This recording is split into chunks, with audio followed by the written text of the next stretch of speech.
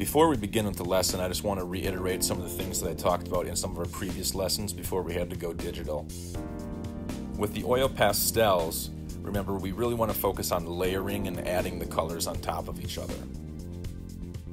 When blending, I recommend always taking the lighter of the colors and blending that color into the darker colors. You have a lot more control that way compared to grabbing the darker color and pulling it and blending it into the lighter color.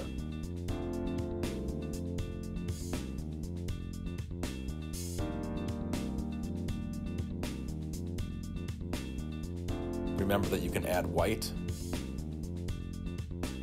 And as you'll hear me say throughout our lesson today, you're going to want to continue to build up the color. All right, so nowhere on your page should there just be one color. What I'm looking for are for those colors to be built and layered on top of each other. That way, when we blend, there's multiple colors to actually be blended together.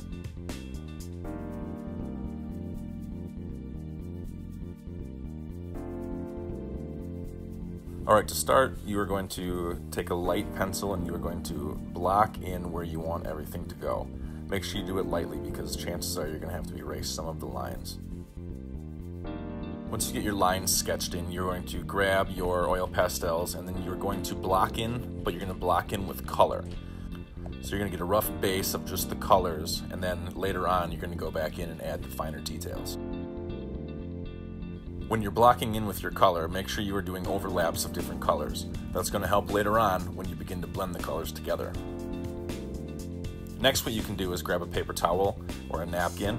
Um, oftentimes, what I do is I fold it three or four times, and then you can use that as a blending stick.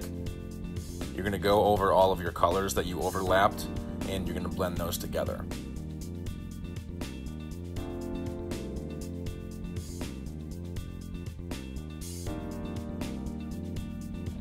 So one thing that I'm doing here is I'm adding more detail as I go.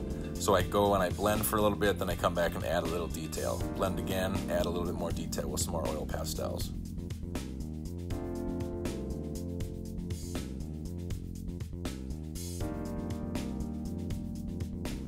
If you need to go back in and add some parts, like for example I just added some grass underneath the hills, feel free to do that at any point. So for this work, touching on what we read about, we have our background, which is the sunset. We have our middle ground, which is the grass and the water. And then we have our foreground, which is the tall grass, and then later on some of the trees.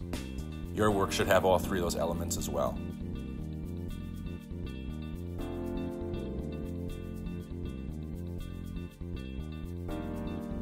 And what you're going to do is you're going to keep adding up and keep building up that color and keep building up those details until you get to the point that you like.